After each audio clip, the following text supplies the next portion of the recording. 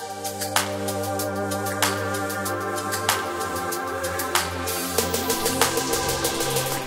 no!